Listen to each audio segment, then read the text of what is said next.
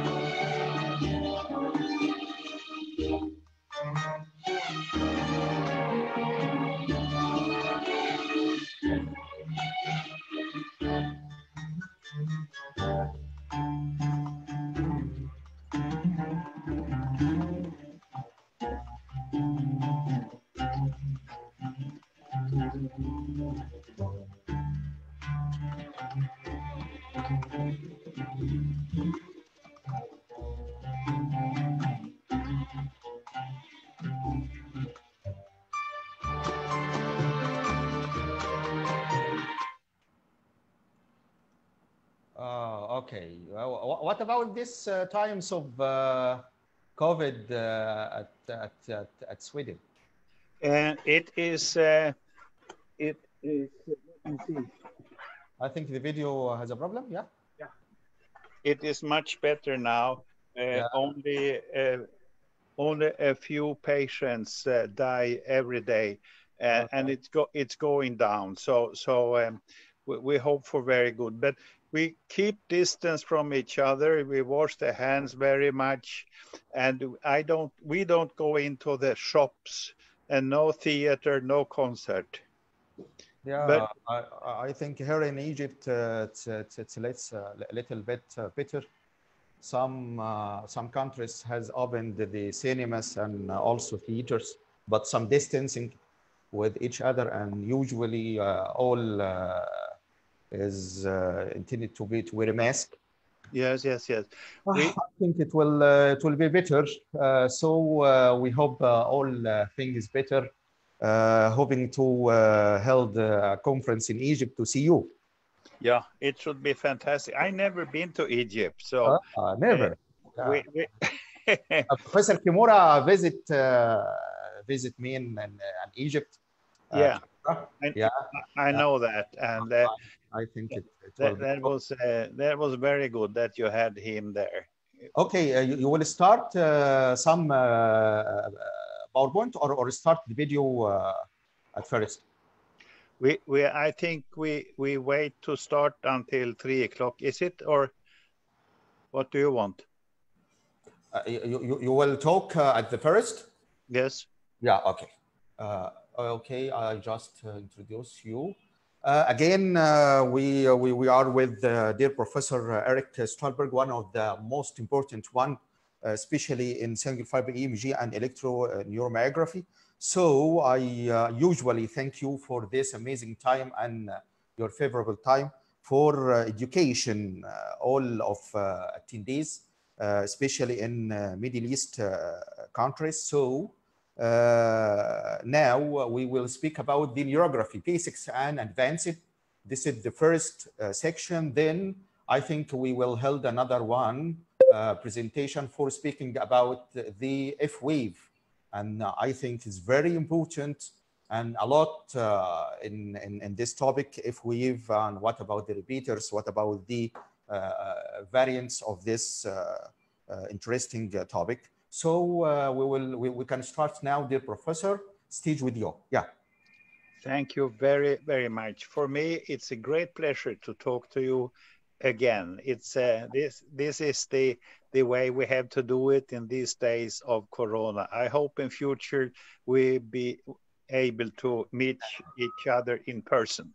Yeah. Uh, we uh, talk about neurography today, as you you know, and uh, we have omitted, as you just heard, the F responses and A waves. There are many things to say about that, and I consider that as a natural part on neurography. But today we have not forgotten it, simply that there was no time for that. I think that in an EMG laboratory, we have the two main techniques, EMG and neurography. And if we had to have only one of the techniques, I think neurography is uh, the, uh, the very important one. It is quantitative. We get numbers and we uh, get a lot of information from it now. And it has developed very much since it uh, started uh, long ago. So the quantitative information that we can get with neurography is very important, but we have to know the details of it. And uh, I will discuss in the video today a little about the different aspects on neurography. Many things you know, some things uh, I hope is new for you. So uh, good luck, lean back and uh, uh see you in a few minutes with questions. Okay, I'll, I'll start now. Yeah. Okay. This webinar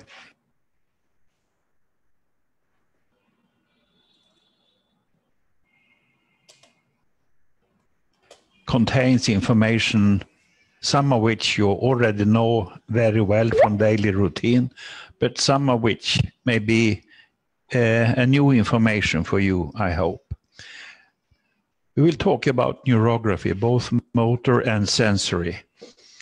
These are very useful techniques, uh, and they are mainly used to detect polyneuropathy and local neuropathies, focal disorders and we try to uh, tell about the pathophysiology, severity, and distribution, including the localization. The methods that we use are standard motor neurography, and I consider F-wave studies being as uh, an integrated part of the motor neurography. It's not a separate study. Then standard uh, sensory neurography with uh, surface electrodes, and then very uncommonly near nerve electrodes, and then short segment studies, earlier called uh, inching technique, that we particularly use for the study of uh, slowing of conduction in, in, at the elbow and across the uh, fibula head. I have many pictures on uh, electrode placements that we use in our lab. Uh, and that can be seen in a handout that I will uh, provide shortly. Just one picture showing that we use surface electrodes that can be uh, glue-on electrodes like this uh, and we place one over the uh, belly of the muscle and the other is not over the tendon which is here but uh, further away and we use uh, to place that uh, electrode at the most distal interdigital joint both in hands and in uh, feet in order to get that electrode as silent as possible not picking up activity from the muscle under study. And then we have surface electrodes for recording. And we have standard distances between the stimulator and the recording electrode. and what do we learn from uh, in neurography? Well, you all know this, but I just take a short look at it. Here is to the right the muscle, and we have a distal stimulation and obtain a signal and we have a proximal stimulation uh, and obtain a signal. Uh, and in this way, by subtracting the two and measuring this distance, we can obtain conduction velocity. So what we record is amplitude, which is related to number of axons, the neuromuscular transmission, In myasthenia, we have lower amplitudes and the muscle volume. And the conduction velocity is related to the state of the myelin and also dependent on uh, axonal diameter. The measurements are usually including parameters such as distal latency, which is indicated uh, at the first takeoff of the baseline, or some other point that I will show. The amplitude is measured between baseline and negative peak. The duration is measured between onset of the signal and the uh, first zero crossing line. And then the area is the segment under the negative part of the signal. And the difference in conduction times are called conduction, and this is the conduction time.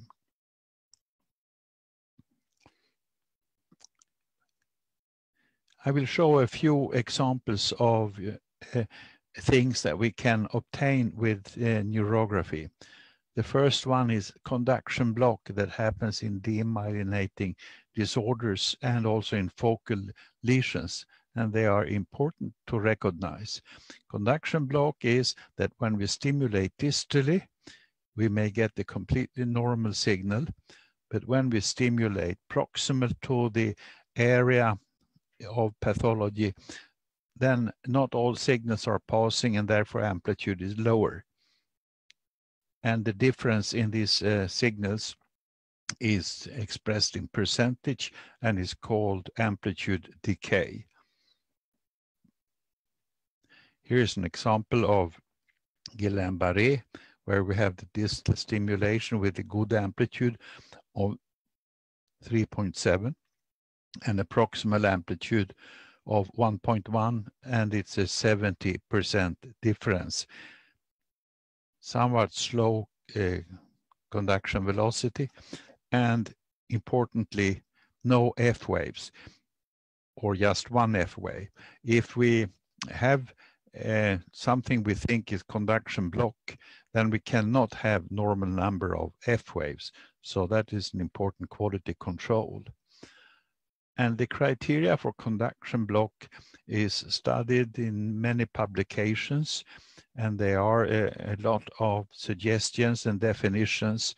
We have used a combination of the different com uh, definitions and say that if amplitude is decreasing by more than 25% at the same time as the signal is more or less unchanged in its duration, you know, if we have an increased duration, the amplitude also becomes smaller. So uh, dispersion, change in duration should be less than 15%. And for the leg nerves, we have the fibular nerve. If we have an amplitude drop of more than 30% and less than 30% dispersion. And the tibial nerve, we allow up to 55% amplitude drop and the dispersion should be less than 45%. This high amplitude drop is due to special conduction conditions among the small foot muscles. So it is not really inexcitability or any conduction block along the nerve. And in addition to this uh, drop in amplitude, we also have reduced number of F waves we can say that conduction block really is associated with weakness. No impulses are passing. If we have just a temporal dispersion, that is not giving uh, weakness. We can easily wait for a few milliseconds uh, for an impulse to pass. And the block is uh, important to detect and report that is often an autoimmune uh, neuropathy may be treatable. Then we have demyelination situation. Uh, depending on where that happens, we may have a completely normal distal latency, but when we stimulate proximal to the problem, that can be either focal or more generalized, we have a longer conduction time there, and therefore this comes later. And often the signal is slightly more dispersed than at the distal stimulation. The amplitude is often just changed very little.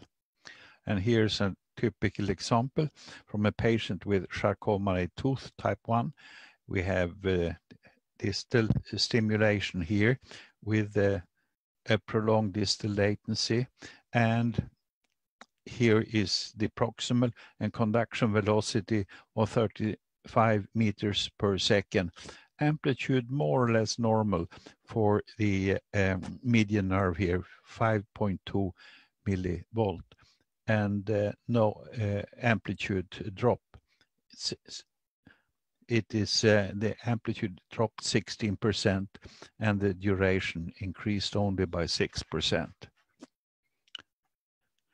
There are different definitions of demyelination. It's difficult to say an absolute uh, uh, condition where, where we have or not have demyelination. But the rule of thumb is that conduction velocity is reduced to less than 60% of mean velocity. And that is, means, uh, for example, less than 38 meters in the median nerve in adult. And the prolonged distal latency more than seven milliseconds and normal or slightly reduced amplitude. That is the, the hallmark of demyelination. Now we go to the other type of uh, pathophysiology, axonal degeneration. Distal latency is completely normal, but the amplitude is low because we have fewer axons that are activated. And the proximal stimulation activates all these axons, but many of them have become degenerated here and we have a Wallerian degeneration, so uh, they are not active here. And therefore we stimulate only those that are surviving and uh, therefore recorded with an amplitude very similar to the one we get at distal stimulation. So low amplitude, more or less normal conduction velocity. The velocity in median motor nerve more than 40 meters is said in many publications distal latency normal or slightly prolonged, and no amplitude decay. Well, that seems to be easy, that uh, differentiation between the demyelinating and axonal neuropathies. We have demyelination um, with slowing of conduction velocity and the amplitude on x-axis is within normal limits. Whereas if we have an axonal polyneuropathy, then we have low amplitude and we have low amplitude and more or less normal uh, velocity. And the problem we have in our daily work is in this area where we have little of demyelination and little of axonal changes. And that is, first of all, true in biologically that axon uh, and uh, myelin are dependent on each other. So we have real combinations. And when we try to choose here, we had to go for the most dominating criterion. If we have very much of slowing or if we have very much of, of reduction in amplitude.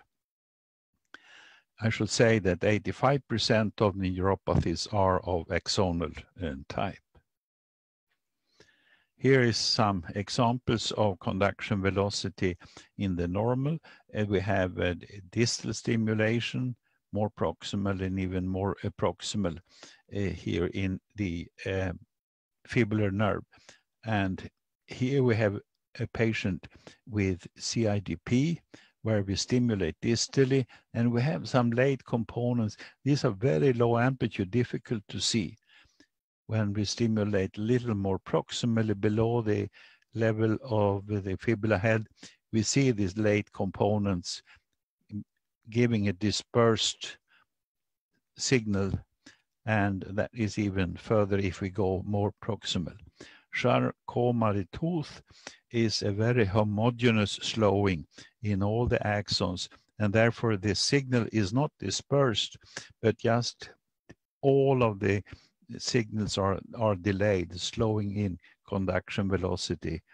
Here it was 27 meter per second. And here we have an ulnar entrapment where we have distal stimulation. We have a relatively good signal just below the uh, sulcus ulnaris, but above sulcus ulnaris, the signal is dispersed and it's more notchy than this one signal. So one can uh, judge a lot about the shape of the signal from different stimulating points about the pathophysiology. Now we shall discuss uh, the neurography and the difficulties and pitfalls and the influential parameters. We have many technical parts that can play a role. Electrode type, position of electrode, reference electrode, muscle length, and so on, temperature. And we have the biological parameters that we are really interested in, namely number of axons, size of motor unit, neuromuscular transmission, axonal di diameter, and myelination. So let's go over examples of that. The electrode type, they are not uh, uh, symmetric, all the electrodes. They can be elongated in different uh, ways. And larger electrodes give lower amplitudes than small electrodes. Here is one that you glue on and uh, this happens to give an amplitude of, of about uh, 10 milliamp. Here's another electrode that is elongated here, and that means that it makes a difference if we have the electrode along or across the muscle. If we have it across the muscle, we get shorter signals and we get higher amplitudes. Here it goes from 10 millivolt to 12.3. And here is a rounded electrode that is independent on the rotation, and that gives, in this case, 10.4 uh, millivolt. Well, there is no truth. You can use any of these electrodes, but the reference values that you use must be obtained with exactly the same electrode. Otherwise, you get the erroneous interpretation. Here's another thing that we may not think of so much. The position of the uh, so-called E1 electrode and the reference so-called E2 electrode.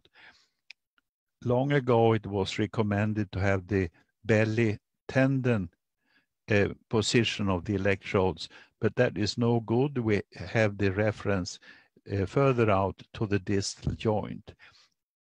I'm interested to see what is the real contribution to the E1 and what is the real contribution to the E2. And therefore, we record from the muscle to a remote reference that is not stimulated at all. And here we record from the reference to a remote control point here. And let us see the signals. Here is the conventional subtraction signals that we obtain. And here is the pure muscle signal, that is fine. And here is the reference uh, electrode signal. That is very fine. It's not, not uh, much active at all. And this minus this one will give uh, this uh, response. If we do the proximal stimulation to the median nerve, then we obtain this signal that you recognize. But if we just record purely from the APB, then we get an early phase here on the signal, an identical phase for the E1 and E2. This is the action from forearm flexors uh, that we stimulate with proximal stimulation. And this signal and this is identical, you see here and they are subtracted and you don't see them at all as a, as a problem. The same thinking for the ulnar stimulation, ADM and little finger, and we test that uh, in this way. And here we see the typical two spike signal, and we have the pure recording from the ADM here, and we have a recording from the little finger, an upside down uh, signal that is coming from the activated ulnar uh, innervated uh, interossei uh, muscles that will remotely give this volume conducted uh, signal. When we stimulate uh, proximally, then we will get uh, the uh, small extra signal from uh, flexor um, muscles, but not very much at all. And this remains because this is generated in the hand and not in, in the arm. Here is something rather fantastic in the tibial nerve where we record from, we say abductor hallucis. And here you see the, the conventional standard recording, abductor hallucis minus big toe. We have the, the E2 over big toe if we just see the contribution to big toe versus a remote reference, you see a very large uh, signal that is recorded from the so-called reference. And this is obtained from the uh, many, many small muscles in the foot. This is the abductor hallucis response, very small. Uh, much smaller than uh, the one to the reference. And when we take this minus this, we obtain this signal. So the main part here is really coming from the reference and it really doesn't matter so much if we place this electrode exactly on the right um, spot. When we do the same thing with proximal stimulation, we usually obtain a smaller uh, signal that is normal. And when we stimulate uh, at the um, fossa poplitea and record from the big toe, you see that small response, but we also have an early response here. And this is coming from the tibial innervated uh, leg muscles. Exactly the same when we record from the abductor hallucis, and when we subtract them, they disappear and we see this uh, response. So the abductor hallucis is a very small response here. That was the effect of reference electrode. Now we shall look at some other things. Effect of muscle length.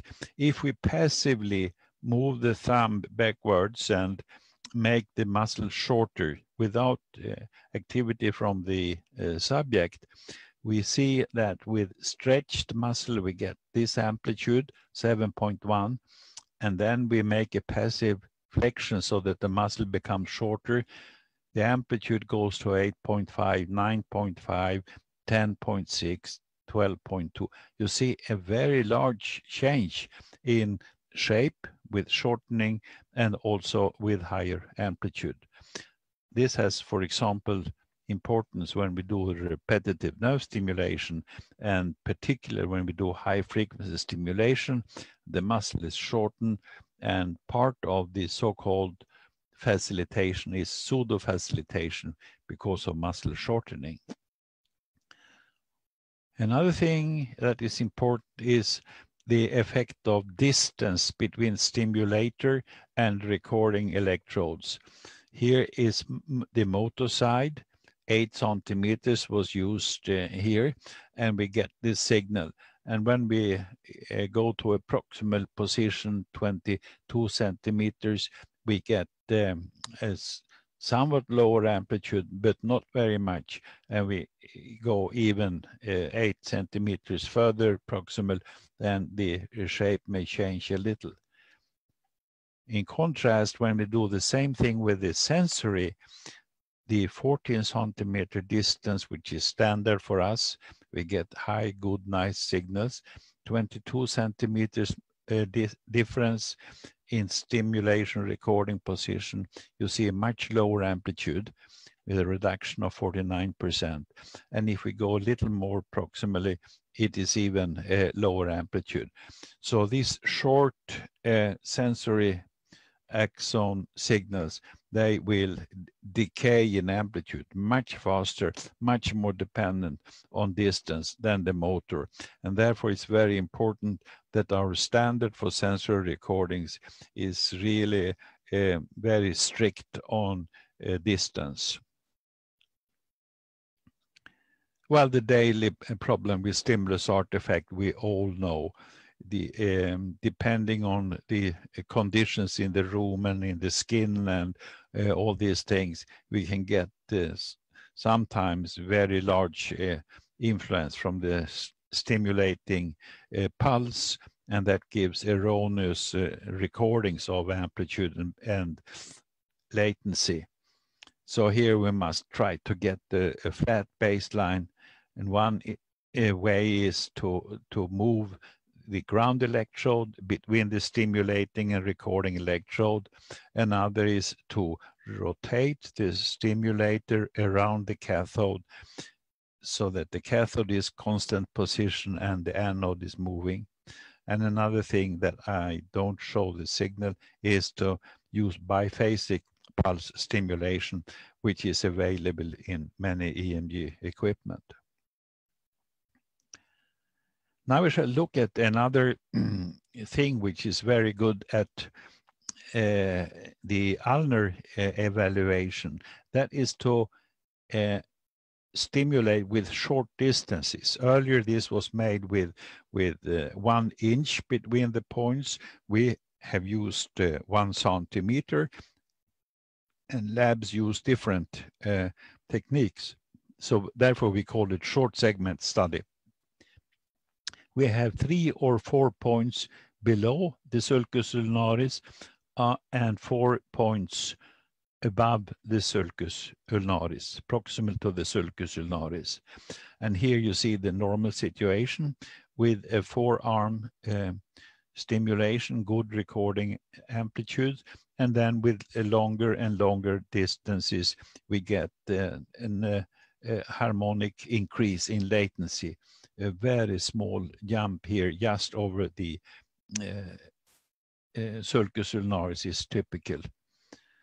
If we now have a problem in the sulcus ulnaris, it may look like this. A good forearm uh, recording, and here increasing latency, and all of a sudden a jump. And then it goes on with the same latency increase as we have in the forearm, uh, or at the distal parts of the study. And that means that this is a true uh, uh, jump here at one place and not an artifact. So here is a demyelination that gives us a local slowing. Good amplitudes and no amplitude change, no amplitude drop. Here is um, a recording from a patient with foot drop, uh, and uh, we record around the fibula head. Here is a recording at the wrist. And, oh, sorry, here's the recording at the ankle, and here we uh, obtain the responses from below the fibula head, and here is above the fibula head, and you see that there is a, a sudden jump here, which is demyelination. But there is also loss in amplitude, which is conduction block. And then we look at the amplitude here. If it was a general axonal degeneration also, then this amplitude should be uh, reduced, but it is uh, not. In this case, it is 6.1, and that is within normal limits. So this recording shows demyelination and conduction block and no axonal involvement. Here we have a similar situation, uh, extensor digitorum muscle here and recording from uh, stimulating at the ankle below knee, above knee. And you see the responses and the shapes of the responses. And here we get the abnormal response already at the stimulation below the knee. So the uh, pathology must occur uh, distal to the uh, stimulation below the fibula head. So it's not across the, uh, the fibula head. No extra changes occur when we uh, stimulate above the fibula head. Here's another situation where we have abductor hallucis recording and we stimulate at the ankle and at the knee, the tibial nerve. And you see at the distal stimulation, we have a very pronounced uh, dispersion of the signal and slowing of many, many components. And when we stimulate more proximally, we do not have more of that slowing. So all this slowing and all these changes occur very uh, distally in this ca case of CIDP. Then a few words about sensory recordings. we can do them orthodromically or antidromically. The antidromic are less painful. We get larger amplitudes, but there is always a risk that we also get a, a muscle artifact in the different situations. And the orthodromic, there is no muscle artifact and the lower amplitudes. We use the antidromic uh, in one technique of carpal tunnel testing, the so-called 14-7 uh, technique. We use it in sural nerve uh, recordings and in radial nerve recordings. Orthodromic we use in some other um, situations, including some techniques for carpal tunnel. The conduction velocity is the same in both directions and they have uh, advantages and disadvantages for the different nerves. For the sensory recording, we can either use the fixed bar electrode or ring electrodes, or sometimes the uh, uh, sensory needle uh, recordings. The uh, start of the signal is either when it starts to, to leave the baseline, and that is very difficult to define often. So a better and more fixed uh, position is the positive peak or the place where the signal is turning upwards in negative direction. The negative peak and the positive peak. Uh, latency is often measured to the positive peak or negative peak. The duration is measured between the two peaks here Amplitude is measured between baseline and negative peak, or in our case, with the computer will draw a line between the peaks like this and measure from that line just up to the negative peak. That takes care of problems if we don't have a good baseline. We can also measure the uh, area under the signal between this line and the signal itself.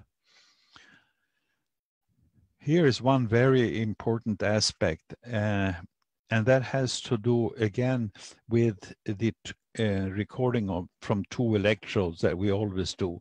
Here is a fixed bar electrode and one uh, felt pad is here and one felt pad is here and the nerve is going under the electrode.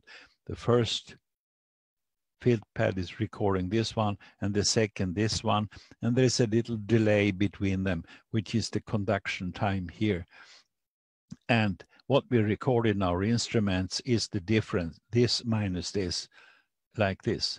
And you can imagine that if these electrodes and these signals are very close together, then we get very low amplitude, more or less zero. Uh, so the shape of the signal, amplitude, duration, and everything depends on the travel time between them. That means it depends on the distance between the electrodes and also conduction velocity. And this is very important, particularly when we do the recording with ring electrodes. We must measure so that we get identical distance each time we do the recording in a patient and also when we obtain reference values. Here we have a, simulation where we have different distance between the ring electrodes. Here they are very close together and then we separate them more and more and we obtain a maximum amplitude at a certain distance. And then if we go at longer distances, then uh, we start to see the effect of the other electrode. So this is now the electrode of the first ring, and here is an upside down of the second ring. So it is important to be aware of the sensory signals dependence on the distance between the recording uh, rings or felt pads. Another well-known thing in uh, sensory neurography is the effect of temperature. With uh, this recording, this is an antidromic recording to digit three. Uh, this is 31 degrees uh, on the back of the hand. And here we have cooling uh, 20 degrees. And that gives many effects. The amplitude is increased the latency is also increased and the total duration is increased.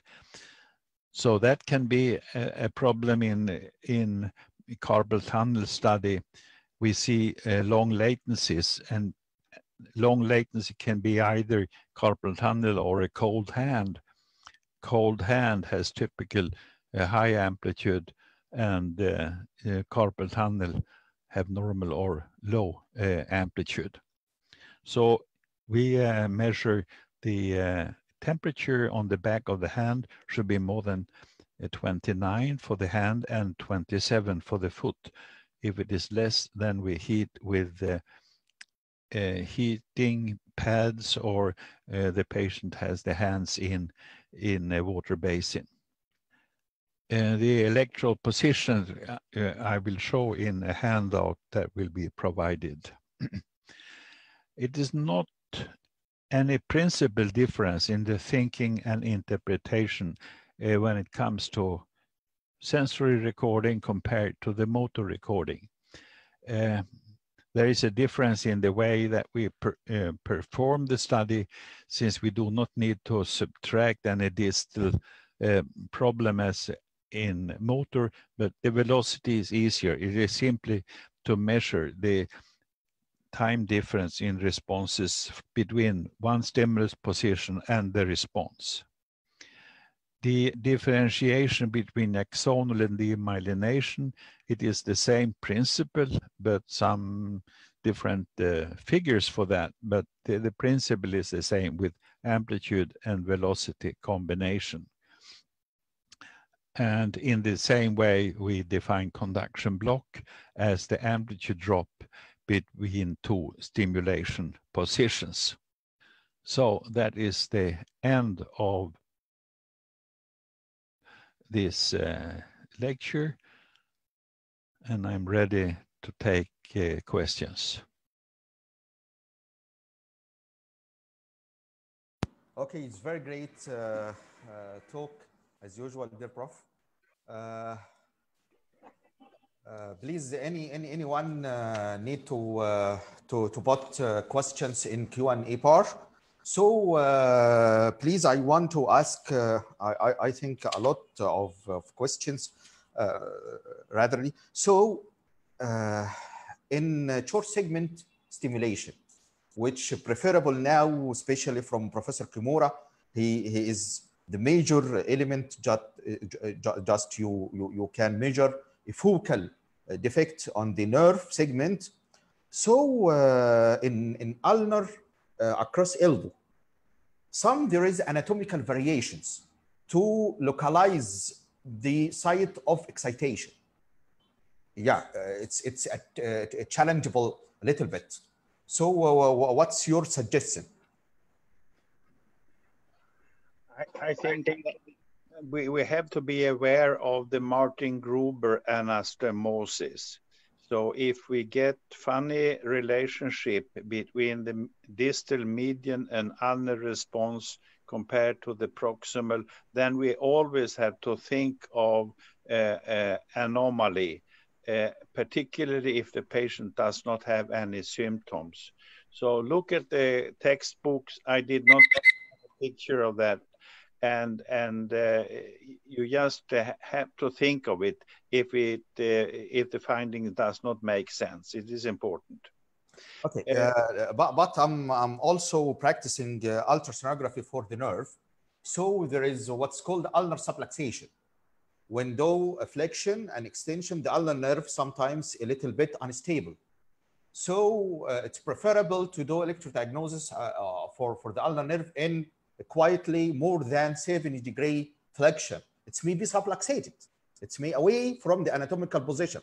So I cannot localize and, and, and, and, and, and get a hit for the strike of the stimulations for the segment of the nerve due this to these variations. This is absolutely true.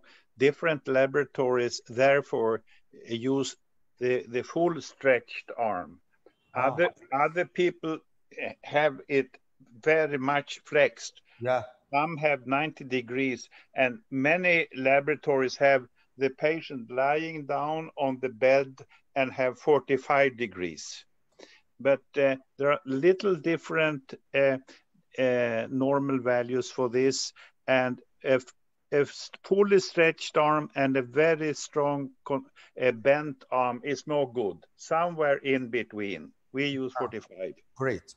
Uh, in, in sensory conduction velocity, in sensory nerve stimulation, we can rely upon just one, one, one segment uh, we, we can stimulate the sensory fibers for the median nerve across the wrist, maybe at the ulnar. So what about the proximal stimulation? Uh, is, is has any value or not? Uh, not. Ah, definitely. no, I, I, I should say like this, because the amplitude goes down so very much with distance, we get very low amplitudes when we stimulate proximally and record from the hand, for example. But it is possible, but much lower signals. For the, for example, uh, over the ulnar, we usually do the motor testing, but you can also do the sensory testing and record from the little finger. But uh, you need averaging and uh, have to be very careful with artifacts.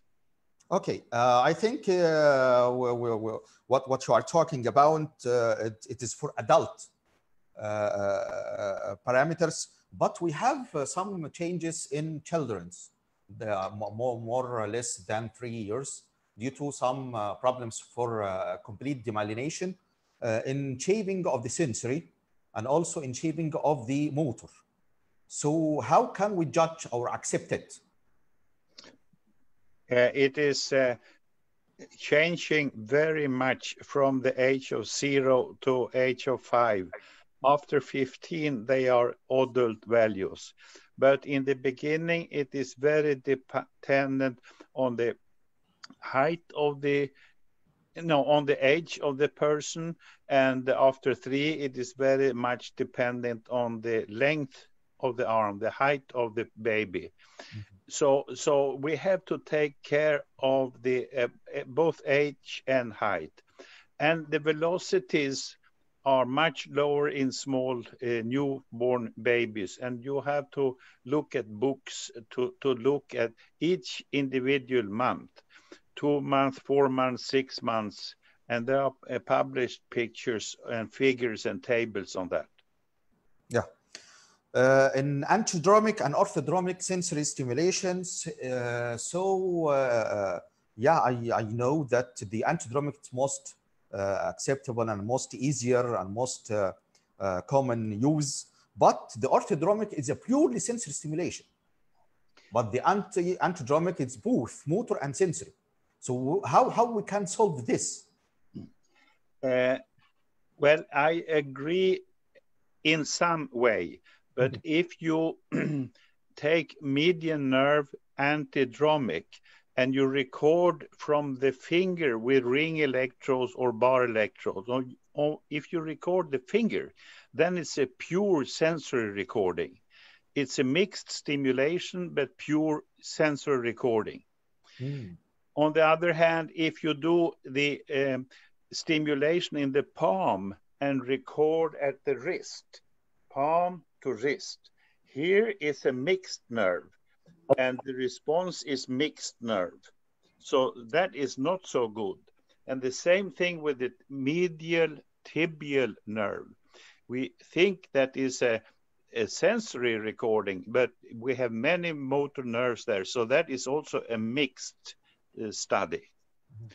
Uh, and, uh, you know, in the carpal tunnel, if we have only a, an, uh, sensory involvement and the motor are normal, then this stimulation and this recording can be normal because the motor fibers were normal, but, but the sensory we don't see. So that is a, a good thinking uh, that either the stimulator or the recording should be uh, pure sensory. Yeah. So uh, what about the, the optimal timing for the study for motor and sensory nerves, the, the ideal after pathology? Yeah, yeah, yeah. You mean I, I uh, some professor uh, said that the optimal studying time for motor is after four days of the insult. But after seven days of the uh, uh, pathology of the sensory fibers, you can study any abnormalities in the sensory and also after 10 for muscles. Uh, do you agree for this? I, I think it depends on which type of pathology. What were you thinking of? Uh, are you thinking about traumatic nerve lesion? Um, after, if you have cut the nerve with a knife, then uh, the distal distal amplitude may be preserved for four or five days, and then it starts to decay very quickly. Uh, so, um, if you want to see if the nerve is intact, you cannot rely the first few days only on distal amplitude. You must stimulate below and above the place of uh, problem. But the distal um, is more than five days. Yeah. Uh, you, you, know, uh, dear Professor uh, uh, this in era of COVID-19, uh, we have a lot of, uh, of cases of Guillain-Barré. So especially in, in, in pediatric. So we can do motor and, and sensor and also F waves and all this in, uh, in, in, in, normative values. So how we can uh, predict the uh, very earliest changes in Guillain-Barré in, in such cases? First of all, if we talk about Guillain-Barré, real autoimmune Guillain-Barré, not COVID, but real, uh, then I think the changes can be seen on day one or day two. Uh, the first thing is that we see uh, A waves, and after a few days, we also start to see uh, low amplitude and conduction block.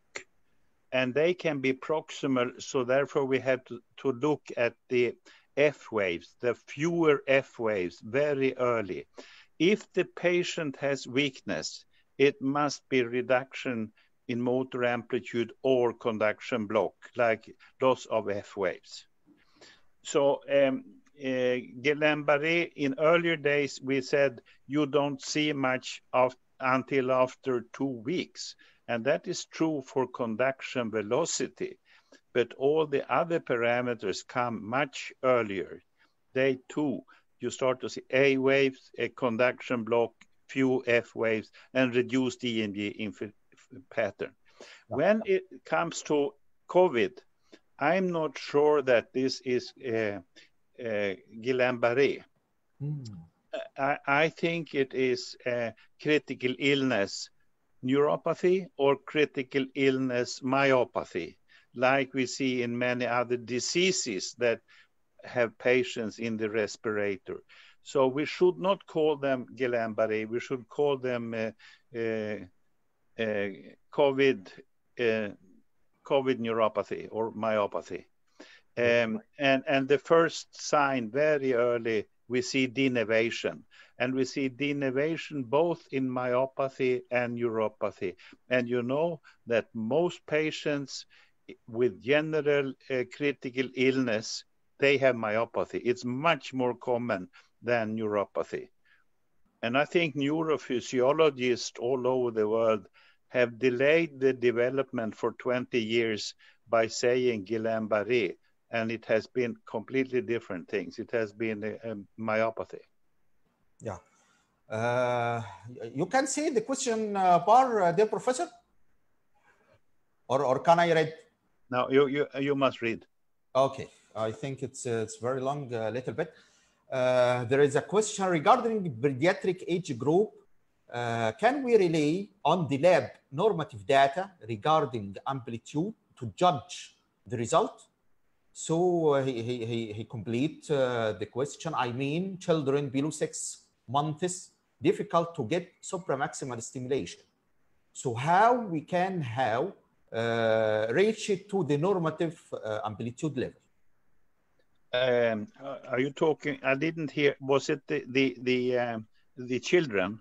Yeah, yeah, yeah. I agree completely that it is um, difficult to get supraliminal stimulation, but often you do not need to stimulate so much. They have thin skin and superficial nerves, and we do not really stimulate too much. And uh, one shock is uh, enough to give a good amplitude. So uh, I agree with the problem, and I have no special solution. Yeah, uh, another question: In case of severe and long-standing CIDP, there there is always no response from the motor and sensory nerves. Do you think facial nerve can be helpful in such case?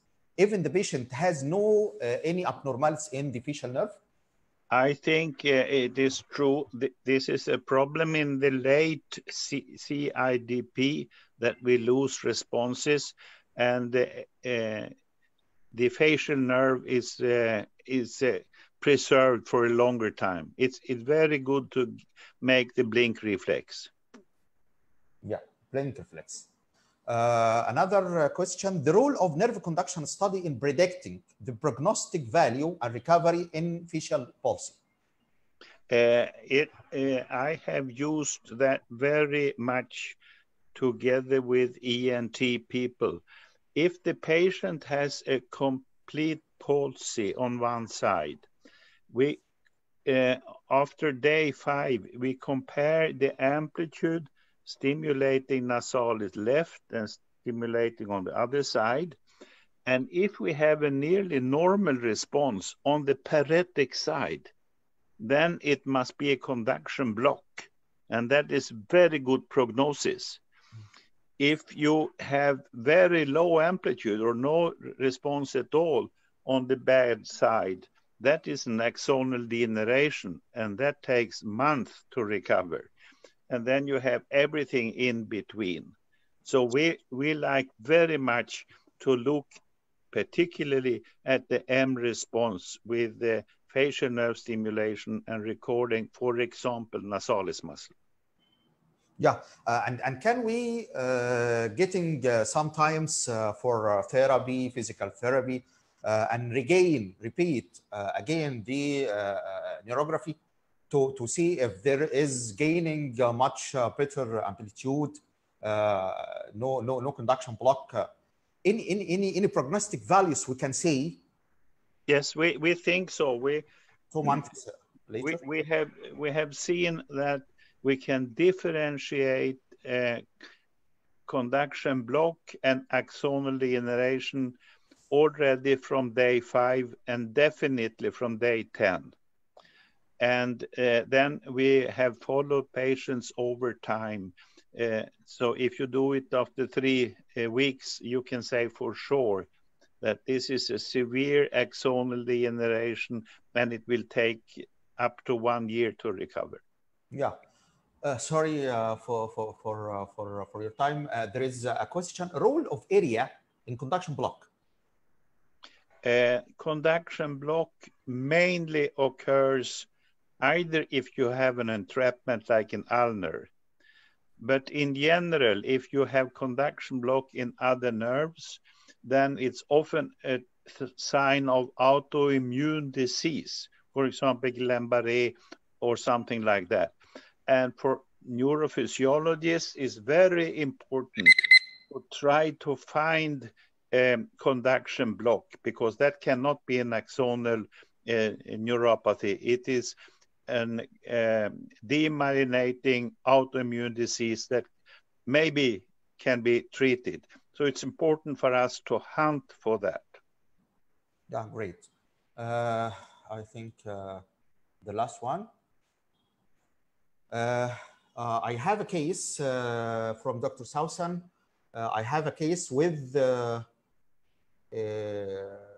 right facial, right-sided facial palsy. There was myoclonus in, in EMG with normal CMAP and latencies, uh, while in blink reflex, the only contralateral R2 was absent. Can we localize the lesion in uh, brainstem? Well, uh, if R2 is abnormal and uh, the others were normal, then we place the uh, abnormality somewhere in the brainstem, I suppose. So it is not in the peripheral part of the of the uh, facial or trigeminal nerve. That's great. No. Yeah. Okay. Uh, any question again? No. Okay. I, I have one comment that uh, I sent to you some pictures and handouts. So can you tell the people that that um, you are going to send it to them? We have some uh, all these pictures plus uh, the electrode positions that I provide. Okay, uh, uh Professor uh, Stalberg, get me a handout, very exciting one. I will share it on the uh, the group. you, you can get it.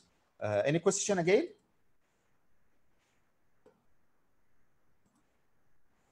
Okay. Uh, so uh, in, in lower trunk uh, plexopathy, such as uh, uh, thoracic outlet syndrome, we can relay it in, in early stage uh, abnormality of the medial antebrachial cutaneous.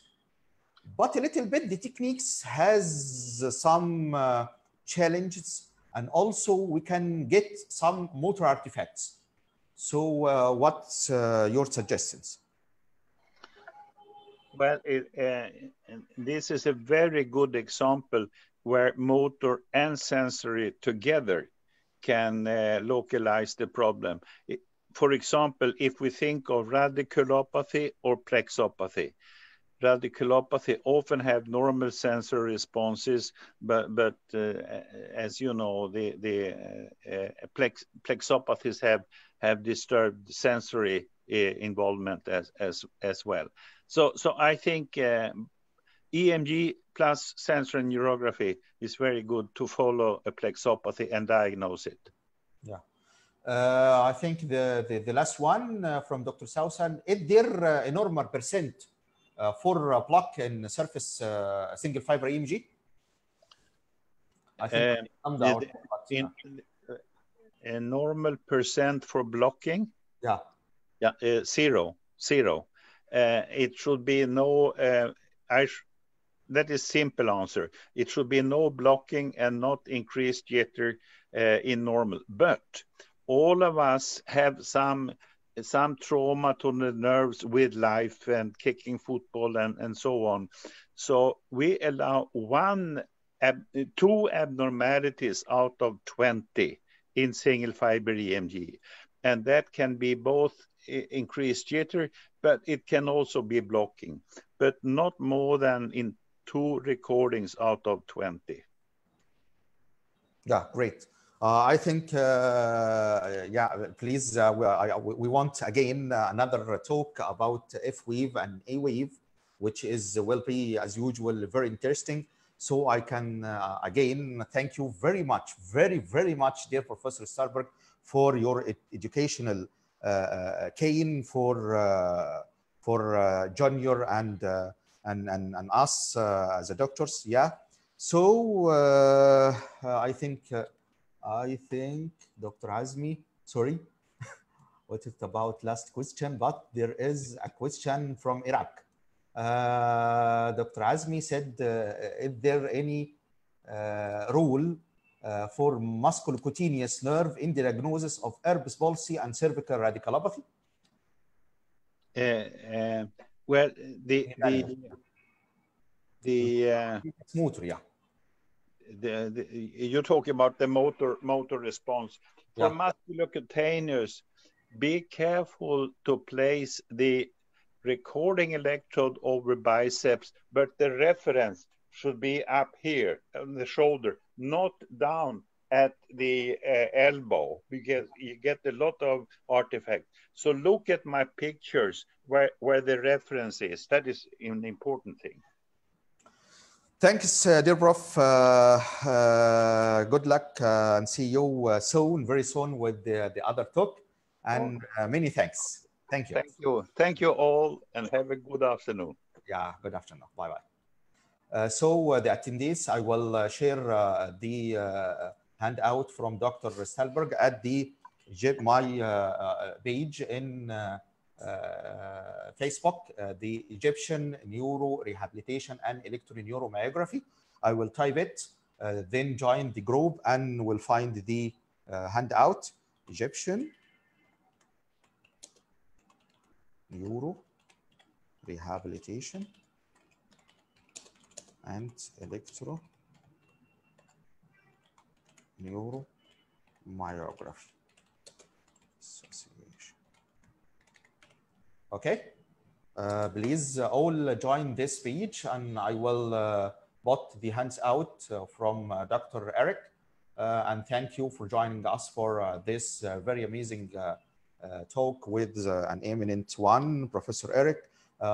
Me, if anyone interested tomorrow, we have another talk with Professor Tolga from Turkey about the hip ultrasonography and its pathology. I think it's very better nowadays to, to be uh, combined with the electrodiagnosis and also the ultrasonography. It will uh, get uh, a lot of informations on, I think this is the future uh, scope uh, later on. So uh, goodbye. And uh, I will put the hands out. Uh, see you tomorrow and after tomorrow. Bye. Assalamu alaikum.